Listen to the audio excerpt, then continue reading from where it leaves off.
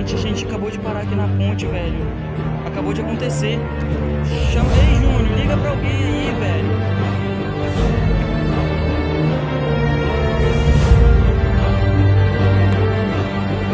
Tá perdendo muito sangue.